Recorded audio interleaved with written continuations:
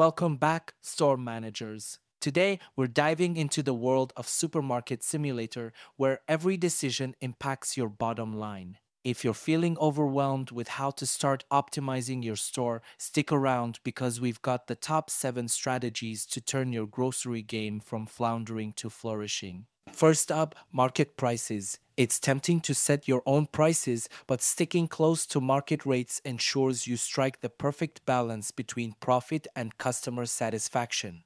Early in the game, round up to the nearest whole number for quicker transactions at the register. Remember, pricing too high could drive customers away, while pricing too low might not cover your costs. Next, let's talk about restocking. An empty shelf is a missed opportunity. Always keep an eye on your inventory and ensure your shelves are well stocked.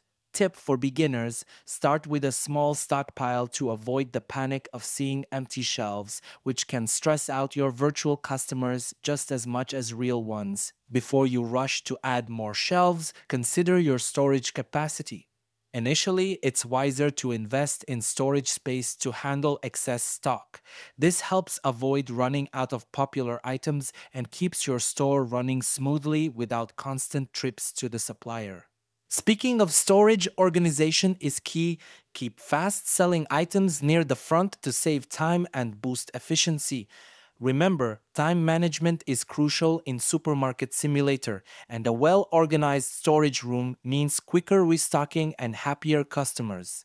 Variety is the spice of life and sales. Expanding the range of products you offer ensures there's something for everyone, preventing customer boredom and encouraging more frequent visits. Start by stocking essential and popular items like bread, cereal, and coffee, then gradually add more diverse products to appeal to a wider audience. As your store grows, you'll need help.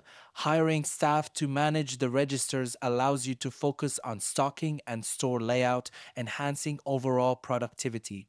Don't try to do everything yourself, delegate to maximize efficiency. Finally, create a natural flow in your store by grouping similar items together. This not only makes shopping easier and more pleasant for your customers, but also streamlines the restocking process for you and your team. There you have it 7 essential tips to optimize your supermarket simulator store and keep those registers ringing. Implement these strategies, and you'll see not just your store, but also your skills as a manager grow exponentially. Don't forget to like, subscribe, and comment below with your own tips and tricks. Until next time, keep those aisles clean and those customers smiling.